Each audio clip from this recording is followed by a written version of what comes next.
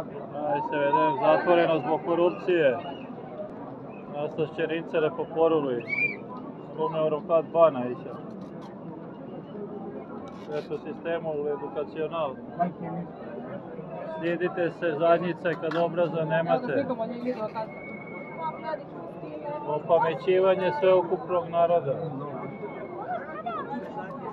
Menka je protesta ićela Belgrad.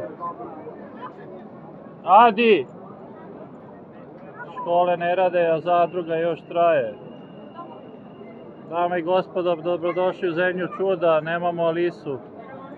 Imamo pregrez dvorskih luda. Tuga. Ministri su uvijek isti, fini ljudi, plagijatori, potkupljivači, tirani. Zašto moja mama od 90-ih šeta? Crveni karton za nesposobnu vlast.